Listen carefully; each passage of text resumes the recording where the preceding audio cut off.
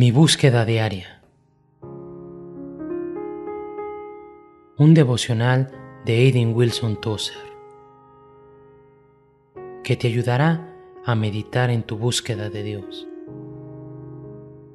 En Luz a las Naciones, canal cristiano de comunicación, puedes escuchar cada día este nuevo espacio. Mi búsqueda diaria para pasar tiempo en la presencia de Jesús, meditando en su palabra.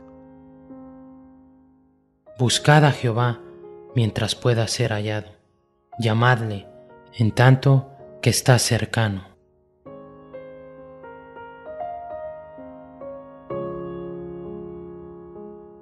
...3 de noviembre... ...y te hará Jehová tu Dios abundar en toda obra de tus manos...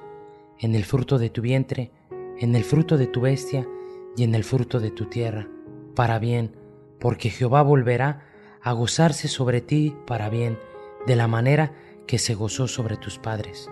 Deuteronomio capítulo 30 versículo 9. Cuando Dios promete algo, puedes estar seguro de que espera hacer exactamente lo que prometió. Temo que la iglesia ha llegado a un punto en el que apenas si esperamos algo de Dios. Marta, por ejemplo, la del Nuevo Testamento, creía que su hermano Lázaro resucitaría en el gran día, pero no creía que el Señor le hará resucitar en ese mismo momento. Tendemos a postergarlo todo para el futuro. Eso se llama escatología y es una palabra importante para indicar la falta de fe. Escatología es el término teológico de las cosas futuras, del fin de los tiempos. Observo que la escatología se ha convertido en un cesto de basura en el que echamos todo lo que no queremos creer.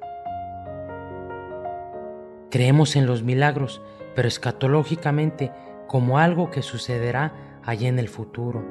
Creemos que el Señor sanará a los enfermos, pero luego, algún día, Creemos que el Señor se manifestará ante los hombres, pero que lo hará en el próximo milenio.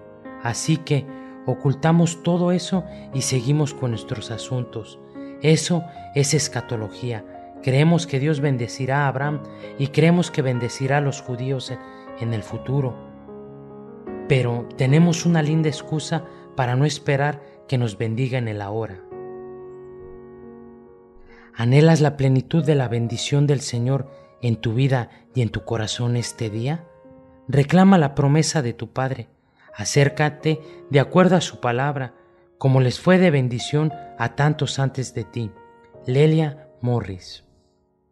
Oremos, mi Padre Celestial, tantas veces he postergado para el futuro lo que anhelas darme hoy, que sea este día en que haga mía tu promesa para mí en el nombre de Jesús. Amén.